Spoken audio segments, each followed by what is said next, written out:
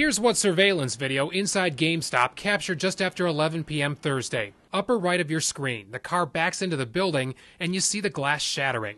Moments later, a guy in a hooded sweatshirt walks in the store. To me, it was like a smash and grab. The car crashed right back in. Individual came into the store, knew what they wanted to take. He comes in and out twice. Take a look. He grabs a couple of PS4 and Xbox One gaming systems, each worth over 300 bucks, along with some gaming accessories, then disappears into the night, just minutes before a Macedonia officer with his gun drawn arrives. It's kind of sickening. I mean, the amount of effort and time that someone has to put up, they barely got away with anything. The amount of destruction was more than what they got away with. Police spent much of the day searching for evidence.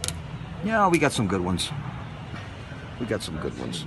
Including fingerprints. That's a palm print. That's the fat of the palm right there.